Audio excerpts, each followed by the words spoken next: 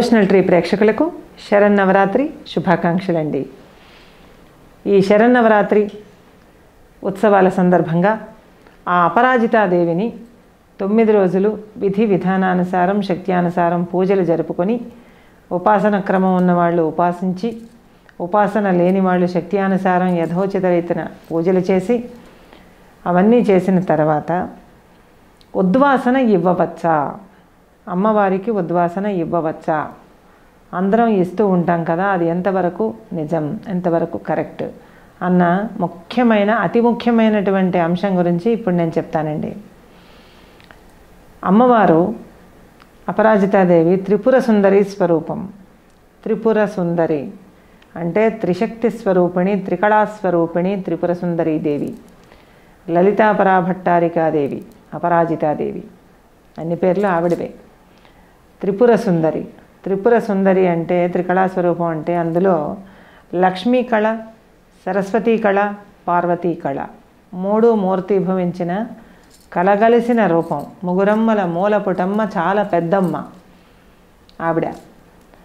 అటువంటి తల్లికి పది రోజుల పాటు కలశం రూపంలో స్థాపన చేసి గణపతి పూజ చేసి అర్చించి ఆమెను ప్రాణప్రతిష్ఠ లేదా యోగ ప్రతిష్ట జీవ ప్రతిష్ఠ ఆత్మ ప్రతిష్ఠ తంత్ర ప్రతిష్ట ఎలా అయితే అలా వాళ్ళ వాళ్ళ సంప్రదాయానుసారం ప్రతిష్ఠించి తొమ్మిది రోజుల పాటు డే అండ్ నైట్ పగలు రాత్రి తేడా లేకుండా పూజలు చేసి ఆవిడ కృప వర్షించే సమయంలో ఉద్వాసన ఇచ్చేస్తే జరిగేదేమిటి?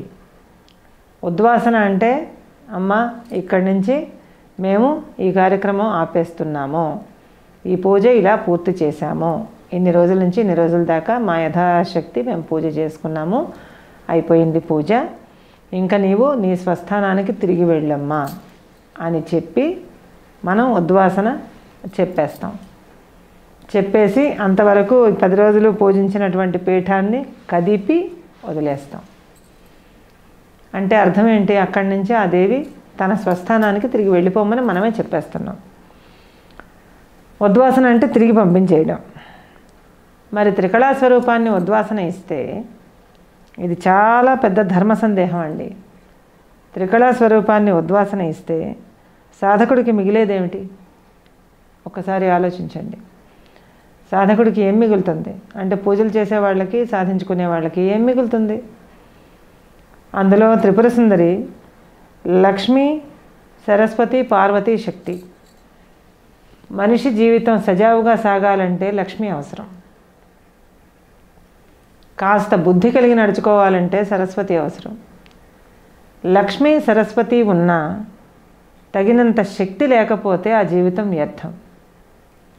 ఎందుకంటే ఎంత గొప్ప డబ్బు ఉన్నవాడైనా ఎంత జ్ఞానవంతుడైనా ఆ శక్తి అనేది శరీరంలో లేకపోతే అతడిలో లేకపోతే లేదా ఆమెలో లేకపోతే ఎంత డబ్బున్నా ఎంత జ్ఞానం ఉన్నా జీవితాన్ని మనం ఆనందంగా అనుభవించలేం. అంటే అన్నీ ఉన్నా జీవితం ఉండకపోవడం అంటే శక్తి లేకపోవడం.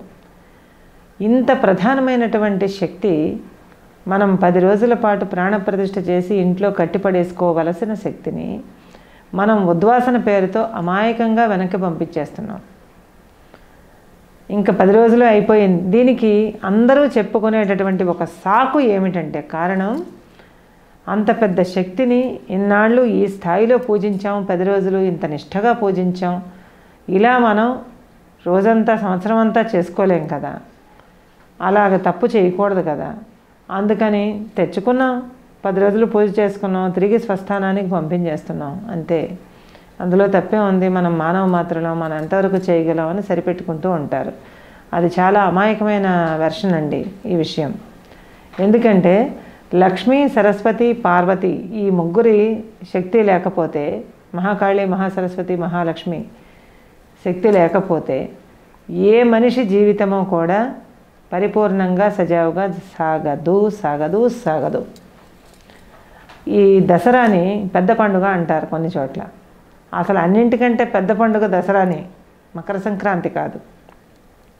మకర సంక్రాంతిని పెద్ద పండుగ అంటాం. దేనికి అంటాము అంటే ఫుడ్ అప్పటికి పంటలు పండి పంటలన్నీ ఇంటికి చేరుతాయి. ధాన్య లక్ష్మి ఇంటికి వేంచేస్తుంది. తద్వారా మనం చేసుకున్న వ్యాపారంతో ధనలక్ష్మి వస్తుంది. సంక్రాంతి లక్ష్మి. అందుకోసం అని చెప్పి లక్ష్మీదేవి వస్తుంది కాబట్టి పెద్ద పండుగ అంటున్నాం. మరి ఇక్కడ లక్ష్మీదేవి సరస్వతీదేవి మహాకాళి ముగ్గురు వస్తారు. అది ఇంకా పెద్ద పండుగ. కాబట్టి దసరా పండుగే అన్నింటికంటే పెద్ద పండుగగా మనం భావించుకోవాలి. భక్తి ఉన్నందువల్ల నేను చెప్పడం లేదు. ఇందులో లాజికల్ పాయింట్ చెప్తున్నాను. అటువంటిది ఆ తల్లిని పది రోజులు పూజించి అమాయకంగా ఉద్వాసన ఇచ్చేస్తే ఎలాగా? మరుసటి రోజు నుంచి ఆ మనిషి ఏం పెట్టుకు బతుకుతాడు? అంటే ఈ ఉద్వాసన ఇచ్చి ఇన్ని సంవత్సరాల నుంచి మేము బతకట్లేదా? ఈ చంద్రరాజు గారికి మరే పని లేదు అన్నీ ఇలాగే చెప్తుంది అనుకోకండి. దయచేసి మనసు పెట్టి వినండి. మీరు చేసుకోవలసింది ఉద్వాసన కాదమ్మా. ఆ దేవిని మీరు ఎట్లా పంపించాలి అంటే ఆ త్రికళా స్వరూపాన్ని త్రిపుర సుందరిని ఈ తొమ్మిది రోజులు పూజించిన తర్వాత దసరా నాడు మీరు పూజాగ్రహంలో కూర్చొని దండం పెట్టుకోండి. దండం పెట్టుకున్నప్పుడు ఆ పీఠాన్ని చేత్తో పట్టుకొని చెప్పండి అమ్మ మేము ఈ తొమ్మిది రోజుల పాటు మాకు తోచిన బుద్ధిలో మాకు తోచిన శక్తిలో మాకు తోచిన లక్ష్మితో మేము నిన్ను పూజించుకున్నాం. మాలో ఖచ్చితంగా మేము చేసిన దాంట్లో తప్పులు ఉంటాయి ఎందుకంటే నీకు మెప్పించే స్థాయిలో మేము చేయలేకపోవచ్చు. తప్పులు ఉంటాయి మనుషులం కాబట్టి. అది మనసులో పెట్టుకొని మమ్మల్ని దండించకమ్మా. మేము నీ బిడ్డలం కాబట్టి క్షమించు. ఏదైనా తప్పులున్నా సరే క్షమించు. క్షమించి సమస్త మాతృస్వరూపమైనటువంటి నీవు మమ్మల్ని క్షమించి మా తప్పుల్ని క్షమించి మమ్మల్ని కటాక్షించు. అదే సమయంలో ఇంకొక చిన్న అభ్యర్థన. నువ్వు ఈ రోజు వరకు ఈ పది రోజులు ఇక్కడ ఉన్నావు. నిన్ను ఈ విధంగా ఈ విధంగా ఈ విధంగా నేను పూజించుకున్నాను. ఇప్పుడు పూజ అయిపోయింది. దసరా పర్వదినం కూడా అయిపోయింది. అయిపోయిన తర్వాత ఇప్పుడు నిన్ను వదలాలంటే నాకు ఇష్టంగా లేదు. ఎందుకంటే నువ్వే లక్ష్మివి నువ్వే సరస్వతివి నువ్వే శక్తివి. నిన్ను వదిలేస్తే నేను బతికేదెలా? అందువల్ల నువ్వు ఈ పీఠం నుంచి అంటే ఇక్కడి నుంచి. అలా దేవుడి పెట్టిలోకి వచ్చాయి. ఇప్పుడు నేను రోజు దీపం పెట్టుకునే ఈ స్థానానికి వచ్చాయమ్మా. నువ్వు ఇక్కడి నుంచి ఇప్పుడు నేను పీట కదుపుతున్నానే ఇక్కడి నుంచి అక్కడికి వచ్చాయి. అక్కడ మాతో పాటే ఉండు. మమ్మల్ని కటాక్షించు. మమ్మల్ని కాపాడు. మా ఇల్లు వదలకు. మమ్మల్ని వదిలి వెళ్ళకు. నేను నీకు ఉద్వాసన ఇవ్వడం లేదు. స్థానం మారుస్తున్నాను అంతే ఎందుకంటే ఇక్కడే నిన్నుంచి నేను ఇలా చేసుకునే శక్తియుక్తులు నాకు లేవు. కాబట్టి నేను స్థానం మారుస్తున్నాను. ఈ స్థానం నుంచి నేను పూజ చేసుకునే ఆ స్థానానికి వచ్చాయి. అంతకుమించి నేనేం కోరను. అక్కడ కూడా నీకు నా శక్తి అనుసారం ప్రతిరోజు దీపారాధన చేసుకుంటాను నివేదన చేసుకుంటాను. మళ్ళీ సంవత్సరం తర్వాత దసరా నవరాత్రులు వచ్చినప్పుడు నువ్వు ఇచ్చేటటువంటి శక్తియుక్తులతో ఇప్పటికంటే మరింత మేలుగా మళ్ళీ పది రోజుల పాటు నిన్ను ఆరాధించుకుంటాను. కాబట్టి ఇక్కడ నుంచి అక్కడికి వచ్చేయమ్మా అని చెప్పి ఆ పీఠం కొంచెం కదిపి ఒక నమస్కారం చేసుకోండి. చేసుకుని తప్పైపోయిందని క్షమాపణ వేడుకోండి. అంతే.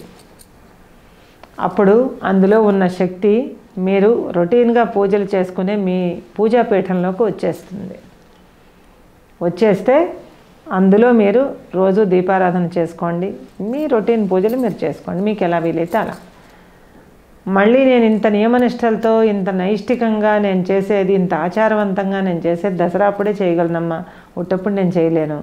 ఇగో నాకు ఇలాంటి అనారోగ్య బాధలు ఉన్నాయి ఇలాంటి ఉద్యోగ బాధలు ఉన్నాయి నేను చేయలేను కాబట్టి నువ్వు అక్కడ ఉండమ్మా. స్థానం ఒక్కటే నేను మారుస్తున్నాను. నువ్వు ఇంట్లోంచి వెళ్ళడానికి వీల్లేదు. నువ్వు మాతోనే ఉండాలి. మాకు ఏ రకమైన మహామారి బాధలు వ్యాధులు రోగ బాధలు రుణ బాధలు ఇవన్నిటితో సతమతం అవుతున్నాం. వాటన్నింటిని తీర్చి మమ్మల్ని కటాక్షించాలి. నువ్వు వెళ్ళకూడదు అని మనసులో గట్టిగా అనుకొని ఇగో నేను బొట్టు పెట్టి అక్కడికి పిలుస్తున్నాను. వచ్చేయమ్మా అని చెప్పేసి ఆ దేవికి ఒకసారి బొట్టు పెట్టేసి ఓ దండం పెట్టేసుకొని అక్కడ మీరు ఎక్కడైతే రోజు పూజలు చేసుకుంటారో అక్కడ ఒక ఫోటో ఏదో ఉంటుంది కదా అమ్మవారిది. ఈ ఫోటో అక్కడ పెడతారు కదా. ఈ ఫోటోని ఏర్పాటు అక్కడ పెడతారు కదా అక్కడ మళ్ళీ ఎక్కించి పెట్టేసేటప్పుడు అక్కడ మళ్ళీ బొట్టు పెట్టేదిగో అమ్మ నిన్ను పిలుస్తున్నాను రమ్మనమని. బొట్టు పెట్టి పిలుస్తున్నాను మా ఇంట్లో ఉండు ఎక్కడికి వెళ్ళకు. మీ ముగ్గురమ్మలు మాతోనే ఉండాలి. ముగ్గురమ్మల శక్తి నువ్వే కాబట్టి నువ్వు మాతో ఉండాలి. ఎక్కడికి వెళ్ళొద్దు. మళ్ళీ దసరా వచ్చినప్పుడు నిన్ను వైభవపేతంగా సేవ చేసుకునేటటువంటి శక్తి నాకు ఇవ్వు అంతే. నా కుటుంబాన్ని నన్ను చల్లగా చూడు అని చెప్పేసి మీరు మిగతావన్నీ నెమ్మది నెమ్మదిగా తీసేసుకుని ఖాళీ చేసేసుకోవచ్చు. ఆ విధంగా చేసుకోవాలి తప్ప ఇప్పుడు సాధారణంగా అందరూ జరిపించేటట్టుగా ఉద్వాసన మంత్రాలు చదివి మంత్ర సహితంగా ఉద్వాసన ఇచ్చి ఆమెను బయటికి పంపరాదు. ఇది మాత్రం ఖచ్చితం. ఆమెని లక్ష్మీ పార్వతీ సరస్వతి అయిన త్రిపుర సుందరి సమస్త కాలస్వరూపం పౌర్ణమి నుంచి అమావాస్య వరకు ఉండేటటువంటి పక్షం త్రిపుర భైరవీ రాత్రులు. అంటే భైరవీదేవి అనుగ్రహంతో ఉంటాయి అవి. అలాగే అమావాస్య నుంచి పౌర్ణమి వరకు ఉండే శుక్లపక్షం త్రిపుర సుందరి రాత్రులు. అంచేత ఆ తల్లి లేని రోజులే లేవు. మరి మన జీవితం ఎలా ఉంటుంది? కనుక ఈ సంవత్సరం మీరు ఈ విధంగా ప్రార్థన చేసుకుని ఆ దేవతామూర్తిని అపరాజితాదేవిని మీ ఇంట్లో కట్టిపడేసుకోండి. వచ్చే సంవత్సరానికి మీరు ఎలా మారుతుందో మీ జీవితం మీకే తెలుస్తుంది. అందుకనే పాపం అమాయకంగా చాలామంది ఉద్వాసన ఇచ్చేసి లక్ష్మిని ఉద్వాసన ఇస్తే ఎలా బతుకుతామండి? అందులో ఉండే త్రిపుర సుందరిలో లక్ష్మిని ఉద్వాసన ఇచ్చేస్తున్నాం సరస్వతిని ఉద్వాసన ఇచ్చేస్తున్నాం కాళిని ఉద్వాసన ఇచ్చేస్తున్నాం. ఇంకేం బతుకుతాం మనం?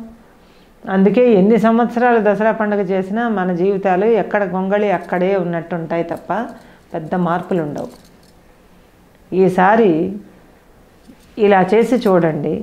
ఏ దుష్ట పిశాచ బాధ కానీ దుష్ట వ్యక్తుల బాధ కానీ దుష్ట పీడ కానీ మీ కుటుంబం జోలికి రాకుండా మళ్ళీ దసరా వచ్చే వరకు ఆ దేవి మీతోనే ఉండి అమ్మ కదండి మనం ఏమిస్తే దాంతోనే సంతృప్తి చెందుతుంది. కానీ మనం చెప్పాలి. ఆ చెప్పేది మనసుతో చెప్పండి. ఇప్పుడు నేను చెప్పిన విధంగా వర్డింగ్ చెప్పండి.